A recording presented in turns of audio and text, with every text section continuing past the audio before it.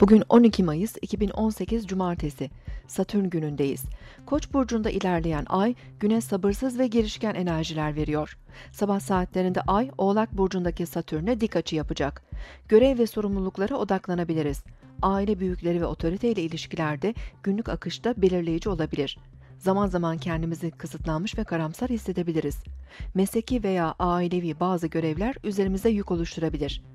Boğa burcundaki Güneş ve Oğlak burcundaki Plüton arasında etkinleşen üçgen açı, uzun vadeli istikrar beklediğimiz işlerde güç ve güven destekleri verebilir. İş, kariyer, para, inşaat ve toprağa dayanan konularda verim elde edebiliriz. Koç burcundaki Merkür, Oğlak burcundaki Mars'la bugün dik açı yapacak. Hızlı ve kararlı düşüncelerle günlük işlerde inisiyatif alabilir, harekete geçebiliriz. İletişim kurarken biraz agresif ve sabırsız olmamız mümkün. Bencil ve inatçı düşünceler, acele eylemler zarar verici de olabilir, dikkat etmeliyiz. Akşam saatlerinde planlarımızı değiştirecek bazı haberler alabilir, ilginç tekliflerle karşılaşabiliriz.